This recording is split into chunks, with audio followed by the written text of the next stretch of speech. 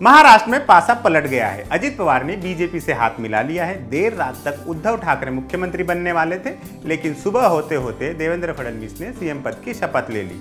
दूसरी बार, और दिल टूट गया। एनसीपी चीफ शरद पवार, कांग्रेस और शिवसेना का।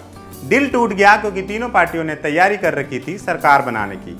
22 नवंबर की रात तय हो गया था कि उद्धव ठाकरे गठबंधन के मुख्यमंत्री बनेंगे, लेकिन नींद खुली तो हाथ आया, मुँह न लगा टाइप सिचुएशन हो चुकी थी। अब दिल टूटता है तो शायरी फूटती है। ऐसा ही कुछ हो रहा है नेताओं के साथ।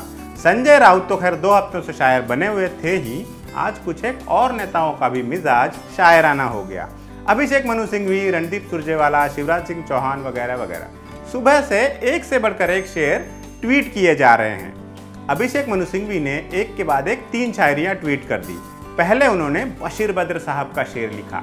लिखा सियासत की अपनी अलग एक जबा है, लिखा हो जो इकरार, इनकार पढ़ना। उसके बाद राज इलाहाबादी नामक एक और शायर का कलाम लिखा। कैसे कैसे हैं रहबर हमारे, कभी इस किनारे, कभी उस किनारे? अब कोई सिंघवी साहब से ये पूछे कि आप शिवसेना के साथ जिस किनारे बैठे थे, वहाँ रहबरी की क्या व्याख्या होती है? खैर, इस ट्वीट के बाद सिंघवी साहब का अगला शेर था, वो जो कहते थे कि हम न होंगे जुदा, बेवफा हो गए देखते देखते। बेवफाई तो खैर इस इलेक्शन में हर एक ने की थी। सवाल ये है कि चलेगी किसकी? बहरहाल, आगे बढ़ते हैं। इस पॉलिटिकल मुशायरे में अगली शिरकत थी कांग्रेस नेता रणदीप सुरजेवाला की। उन्होंने कदरन वजनदार शेर लिखा, मुझे मत देखो यू उजाले में लाकर, सियासत हूँ मैं, कपड़े नहीं पहनती। शेर तो लिखा, लेकिन साथ में एक और लाइन भी लिखी, जनादेश से विश्वासघात, लोकतंत्र की सुपारी। अब इसमें देखने वाली बात यह है कि इस विश्वासघात में शामिल कौन कौन है और क्या कांग्रेस का दामन साफ़ है? इधर कांग्रेस अपनी भड़ास निकाल रही थी, उधर मध्य प्रदेश के एक्स सीएम शिवराज सिंह चौहान ने तंज कस दिया। ट्विटर पर लिखा, न खुदा ही मिला, न विशाल सनम, न इधर के रहे, न उधर के रहे। खैर, जब शायर नेताओं की बात हो रही है तो शिवसेना के संजय राउत को कैसे नजरअंदाज किया जा सकता है? उन्होंने तो पिछले दो हफ्तों से ट्विटर पर मिनी मुशायरा चला रखा था। आइए उनके ट्विटर हैंडल पर लटके कुछ एक अशार बांच लेते हैं।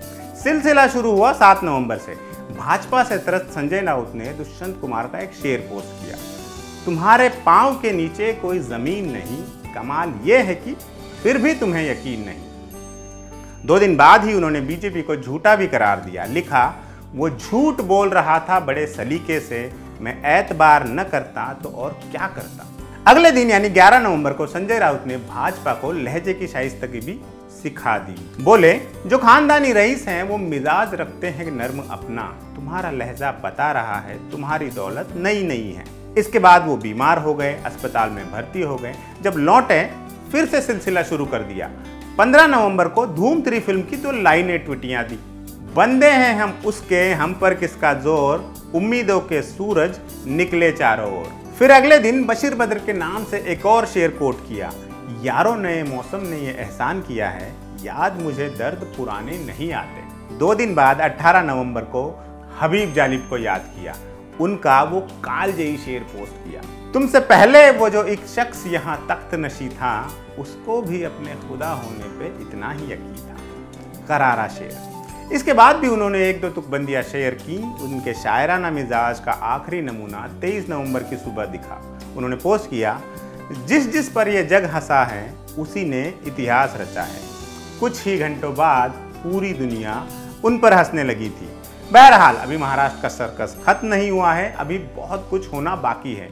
हम आप तक इससे जुड़ी सारी खबरें लेकर आएँगे। तब तक लोकतंत्र का खुलकर मखौल उड़ाते तमाम नेताओं को हम जनता की ओर से एक शेर बतौर शिकायत समर्पित करना चाहते हैं। गुलजार दहलवी ने जनता की बेबसी को कुछ यूँ जुबा दी थी, आसरा उनकी रहबरी ठहरी, जिनकी खुद रहजनी में गुजरी है। इस खबर के लिए हमारे लिए तमाम शायरिया इकट्ठा की हमारे साथी कुसुम ने कैमरे के पीछे रूहानी है, मेरा नाम मुबारक है, आप ललन टॉप देख रहे हैं। हमारी महाराष्ट्र पर नज़र बनी हुई है। हमारे यहाँ वीकेंड पे काफ़ी लोगों की छुट्टी होती है, पर हम लोगों ने बुला लिया था और लोग आए हैं अपना ऑफ़ कुर्बान करके, ताकि आप तक सारी समाचार, सारे समाचार, सारे अपडेट्स समय से पहुँचते रहिए। आप देखते रहिएगा दिल ललन टॉप।